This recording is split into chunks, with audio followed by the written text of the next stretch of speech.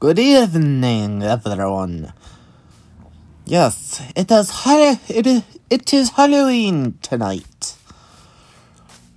And yeah, it, it's sad of my decorations today. that's all I can afford in survival, that's for sure.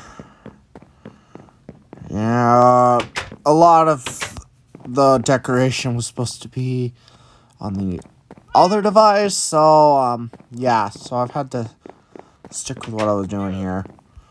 But, yeah, it's some jack-o'-lanterns, nothing big. I hope everyone's having a good Halloween today, tonight, because